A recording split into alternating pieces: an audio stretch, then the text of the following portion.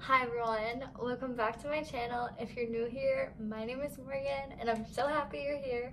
And today is a really special video because we're talking about books, which are one of my favorite things ever. I realized this week that I had not done a book video since October and obviously since I read fast, I read a lot of books.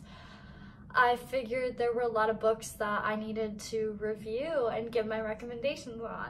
So I have a list right here on a sticky note. We're to talk about a couple books and what is on my reading list as well. So first I wanted to start off with like the self-care books slash financial planning books. I think I told you guys that I got the Total Money Makeover um, by Dave Ramsey last year. I ended up reading it in the fall. It was good. Um, I think it's as good as a financial planning book can be. I think financial planning is such a personal thing and it really interests me because I'm in the school of business. Um, I love talking about like finances and just like how that works, how each individual person does it. That really interests me and like the system of it. So that aspect of the book really interested me. Now taking his advice and putting it into my personal life, I kind of take everything with a grain of salt. I don't think that um, a book should dictate how you know your life to work best, especially in a financial setting. So I think there are parts from that book that I can definitely take and recommendations, and I would recommend it to someone who's looking for guidance um, in the financial world or even if they're just interested. And the second book I'm talking about as well is called The Latte Factor.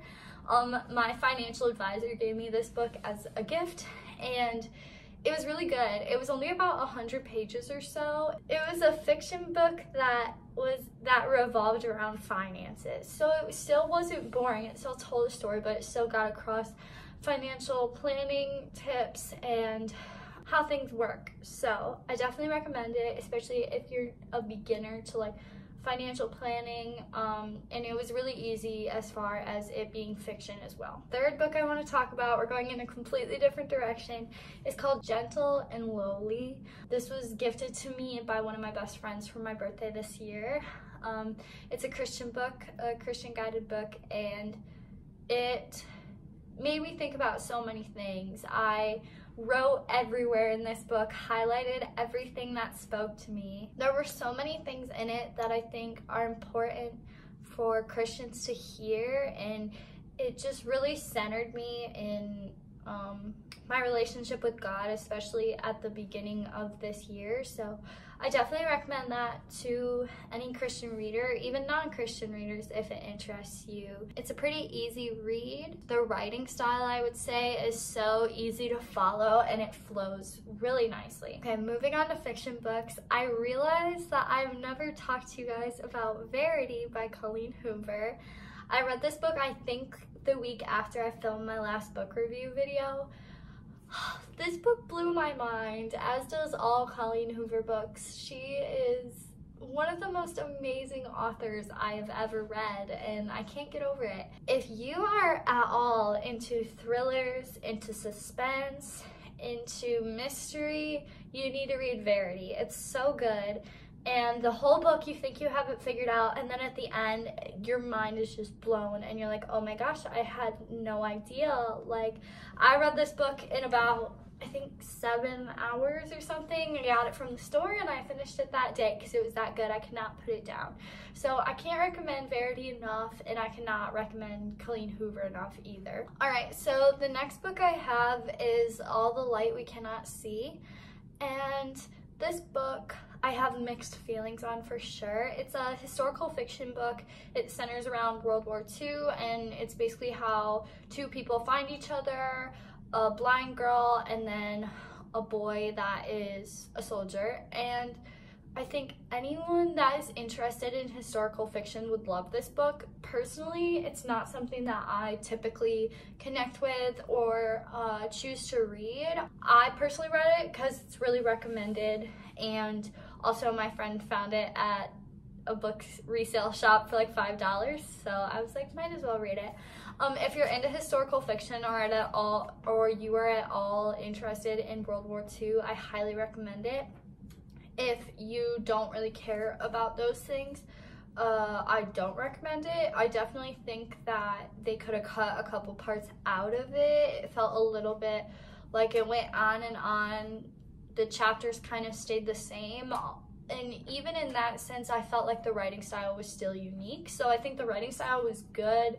There was just a little bit too much in the book, more that needed to actually be in it. Next series I'm going to talk about is uh, the Deal series by Elle Kennedy. I know I say this all the time, but this is actually one of the best series I've ever read. It's such an easy read, but it also is so interesting and entertaining and just so good to read. The series follows, there's four books in the series, and then there's like an extra book at the end. Um, it's kind of like a spin-off so the four main books follow four different friends that are all on the same hockey team each book is about a different friend on the team and kind of their love story the um a hockey a college hockey team um, and then the fifth book is about like where all the relationships are at um, in the future, like a couple years down the road. It was so good. Elle Kennedy's writing style was so good. Although I will say the first book was my favorite and I felt that nothing topped the couple that was in the first book.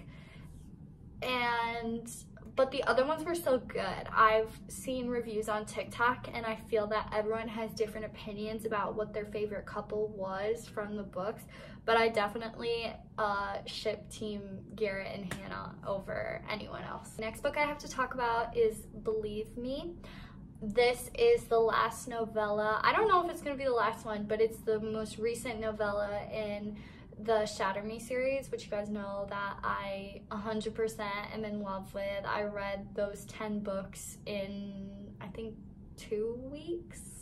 I don't know. It was last year, and that series, like, has my heart, and they, it was a good ending or a little bit of a closing to the series. However, it's a novella, so you can't judge it based on like the good, huge books. I think she needs to end it here. I don't think that this series needs to be written about anymore. I feel like the characters have achieved like closure. Uh, but definitely, I would say read the Shatter Me series from the beginning, 100%, especially if you're into dystopian type books or fantasy type books. Uh, such a good read. Next book I'm reviewing is November 9th by Colleen Hoover. I feel like at this point you just hear that name and know that I'm obsessed with it. I try to judge all of her books separately and really form opinions about if it's good or not like on my own without comparing it. However, I finished this book in like a day as well. I started it in a morning and I finished it that afternoon because I just couldn't put it down and that wasn't even my intention. November 9th is a really good romance story. It I don't want to spoil anything because it's definitely um it's definitely worth the read. So I would say read it. That's basically all I have to say. Next book I read which is the most recent book I finished is Circe by Madeline Miller. I so badly wanted to like this book and I just couldn't. This is the same author as Song of Achilles and it nothing happened. Nothing happened. I'm so confused. Like what was the point of it? Uh, the, I, this is probably one of the worst books I've ever read and I hate to say that but it was awful and I really, if one of you have read it, I want to hear if you liked it or not, because I, I did not. It was, nothing happened. The writing style was too long and lengthy. She would go on these huge tangents that didn't even need to be there. She could have done so much more with it, and she obviously didn't. So I'm just gonna leave it at that. I don't recommend it unless you wanna read it to have a debate with me. The book I'm reading right now is They Both Die at the End by Adam Silvera. I think that's how you say it. I am about a quarter of the way through. It's so interesting. I think this is to be one of those books that changes my perspective on life regardless of how much I enjoy the story or not. So basically like in this society, the day you're gonna die, you get a call at midnight that day and it's from like, it's called like Deathcast and they call you and are like, hey, just let you know, like you're gonna die today. We can't tell you what time or how, but you're going to. And so these two guys like meet up because they both got calls that they were gonna die that day and they like live out one day in an adventure, but like I know it sounds really depressing, but I'm 100 pages in and it, I feel that it just makes you think about how you choose to live each day and make the most of each day. And yeah, I, I haven't finished it yet, but I definitely think that I'm going to like the whole book. And I think it's so funny that he named it this because it's like, it spoils the whole book, but I'm like, I'm debating in my head, I'm like, are they actually gonna die? Like, I don't know, but I think it's so necessary to think. It makes you think about life and death and making the most out of every situation. So I'm really excited to finish this one. I actually really enjoy the writing style as well. It's a little bit simple. It's a little bit more young adult style, but definitely worth the read. So those are all the books that I have to review. As of now, you can see it right there. Um, I have Daisy Jones and the Six. My friend found it at a resale bookshop for $2. I'm really excited. I hope I like that one better than The Seven Husbands of Evelyn Hugo because it's they're both by Taylor Jenkins Reid. I wasn't the biggest fan of The Seven Husbands of Evelyn Hugo. However, one of my best friends was obsessed with it. So I think it's just a difference of opinions and storylines. So I'm excited to read that one. I also have a book at school right now called Dating Dr. Dil and I hate the cover. Like I don't know what to think about the cover. I hate when there's people on covers of books, especially if they're like real people.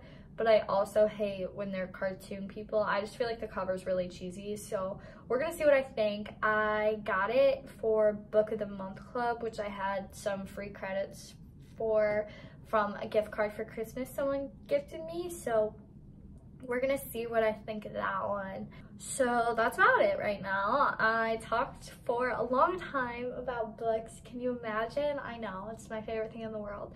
So, um, I hope you guys enjoyed the video so much. Give me all your opinions if you've read these books, if you haven't, if you have recommendations. I love to hear them. So thank you guys so much for watching and I will see you guys in the next video. Bye guys.